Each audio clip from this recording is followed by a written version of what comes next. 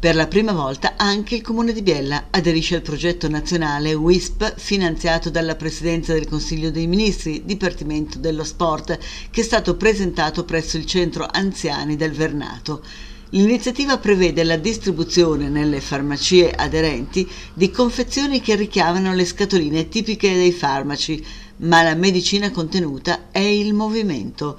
A Biella e in provincia verranno distribuite gratuitamente queste particolari pillole di movimento. Ogni confezione conterrà un bugiardino con i dettagli per svolgere un mese di attività motoria gratuita nelle associazioni affiliate a WISP, scadenza della medicina maggio del 2022.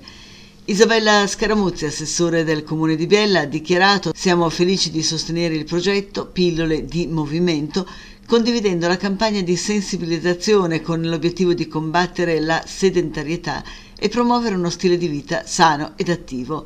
È un progetto ideato nell'ambito delle proposte tese alla diffusione della cultura e del movimento rivolte alla cittadinanza nell'ottica di promozione della salute e di prevenzione primaria. Anche il direttore del Dipartimento di Prevenzione della SL di Biella, Luca Sala, asserisce che l'attività fisica concorre a prevenire l'insorgenza delle principali malattie croniche, rappresenta uno strumento essenziale di promozione della salute, del benessere psicofisico e relazionale, ma anche un'opportunità per una migliore qualità di vita in situazioni di malattia.